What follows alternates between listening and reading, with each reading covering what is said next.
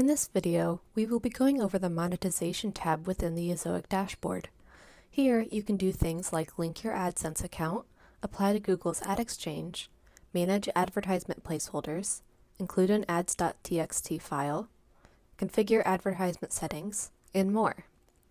To begin, navigate to your Ezoic dashboard and select Monetization. If you're a first-time user of the monetization platform, you will first need to link your AdSense account and apply for Google's Ad Exchange. For AdSense, simply include the email you use for AdSense and Ezoic will connect to your AdSense account. For Google Ad Exchange, you simply need a Google email address and then click Send Link. This link will take you through the Google Ad Exchange application in your inbox. Next, you can set ad tester settings.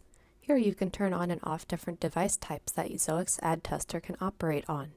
This bottom toggle, AI placeholders, allows ad tester to test other locations that you may not have implemented placeholders.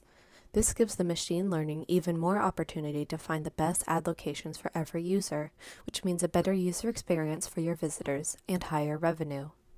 By turning on Anchor Ad settings, this will allow an ad to show at the bottom of the page this ad is a very high earning location, so it is optimal to have it turned on.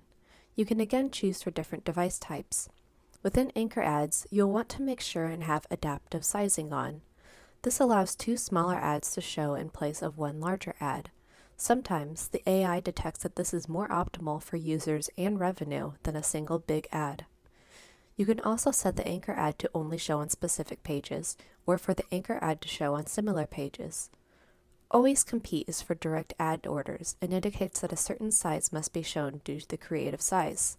Unless you have a specific direct ad order, it is best to leave this off. The next tab, Key Value Settings, allows you to create key value rules.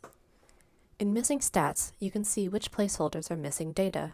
It will tell you the percent of your revenue that this placeholder was giving and why the stats are not available.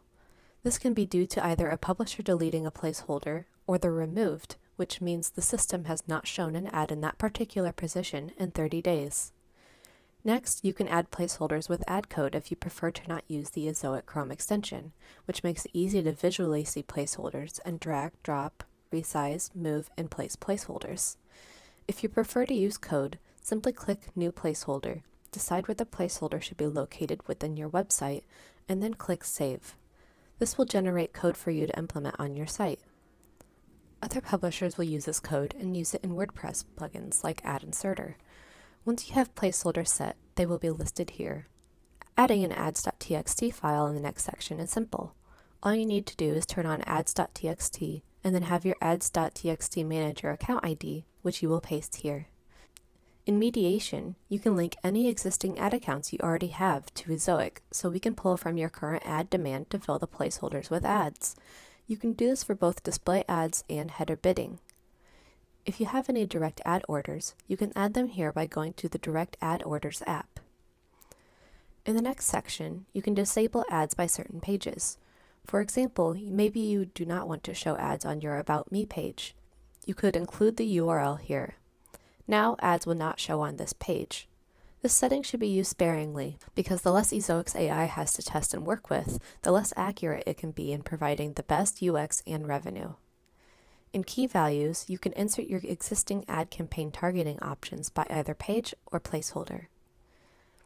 It is important to have native ads turned on, as this increases revenue by an average of 10%. Native ads are simply sponsored content that may show at the bottom of your page or in the sidebar. Besides earning more, it can give your audience an opportunity to find content they may not have known of before.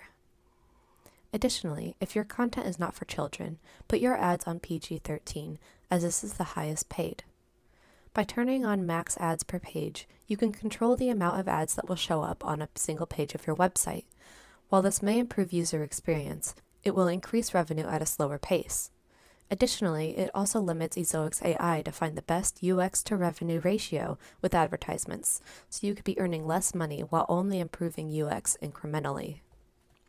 Ad restrictions allows you to set limits on the number and type of ads that are shown on a landing page or a user session based on referral source, which you can set by creating a rule. Again, setting more rules restricts the amount of testing the AI can do, which means you could be potentially limiting the amount of revenue you receive with minimal increase in user experience. In certain circumstances, website owners may want to prohibit specific advertisers, which can be done in the Advertiser Blocker section. In ad categories, Ezoic helps you to choose which categories of ads are shown on your site, in the same way that AdSense or the Google Ad Exchange does. Lastly, there are many variables that go into ad testing and preference, and ad colors is one of them.